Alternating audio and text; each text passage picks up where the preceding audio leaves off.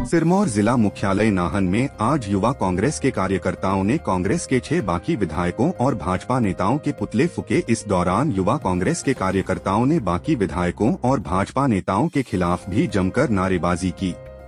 Youth Congress Nahan मंडल की तरफ़ से जो इन्होंने कांग्रेस के जो गद्दार विधायक, जिन्होंने कि कांग्रेस का, कांग्रेस पार्टी का नाम डुबाने का कार्य किया है और एक तरीके से जो हिमाचल प्रदेश में जनता ने कांग्रेस पार्टी को पूर्ण बहुमत से जो है विजय हासिल करवाई थी, उसमें शर्मनाक कार्य करने का जो कार्य किया है, इन छः विधायकों ने, इनके खिलाफ आज युवाओं के मन में बहुत ही रोष है और इसको लेकर यहाँ पे आज पुतला जलाया गया। केंद्र सरकार ये जनता पूरी भली भांति जानती है कि किस प्रकार से केंद्र की सरकार तानाशाही रवैया अपनाए हुए है और युवाओं के खिलाफ जो इन्होंने नौकरियाँ देने का वादा किया था, युवा पूरी तरीके से बेरोजगार होते जा रहे हैं और केंद्र सरकार के ऊपर कोई भी जूं तक नहीं रेंग रही है। और ये पूरी देश की जनता, हिमाचल प्रदेश की जनता भी जानती है कि युवा किस प्रकार बेरोजगार होते जा रहे हैं, परंतु इनके ऊपर कोई भी असर नहीं पड़, पड़ने वाला। प्रदेश अध्यक्ष डॉक्टर राजीव बिंदल जी और पूर्व मुख्यमंत्री जयराम ठाकुर जी, जिन्होंने कि इन विधायकों को खरीद फरोख्त में भरपूर योगदान दिया है। इनके खिलाफ भी जो है इनके भी पुतले जलाए गए हैं। सरकार छः विधानसभा सीटों के ऊपर भी।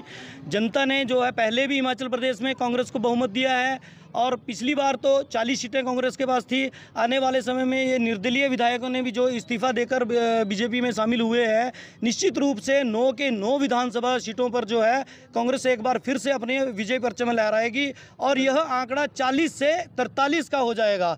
क्योंकि जनता जान चुकी है जनता बेवकूफ़ बनने वाली नहीं है और जिस प्रकार से इन विधायकों ने जो कांग्रेस पार्टी को गिराने का कार्य किया है वो उससे जनता भली भांति परिचित है और निश्चित रूप से जून के महीने में जो सरकार है वो 40 से 43 सीटों पे जो है विजय हासिल करने वाली है। सुक्खू जी ने ओपीएस के लिए ओपीएस बहाल करी है पंद्रह सौ रुपये महिलाओं को देने का वादा किया है लेकिन भाजपा सरकार हर तरीके से उनको गिराना चाहती है जो अपने माननीय अपना सुखविंदर सिंह सुखविंदर, जो भी हम अप्लाई करी है हर चीज़ जनता के हित के लिए बीजेपी ये चाहती है कि किसी ना किसी तरीके से कांग्रेस की सरकार गिरे और हम ओपीएस भी बंद करें और पंद्रह सौ महिलाओं के लिए हम देर चले वो भी हम स्कीम बंद करें।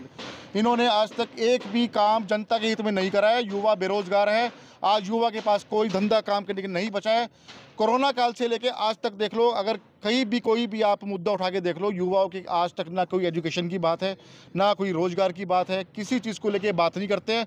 इन्हें सिर्फ़ धर्म की राजनीति करनी आती है और इन्हीं से उनकी रोटियाँ सिक्की जा रही है। नाहन से कैमरामैन युगमार्ग टीवी।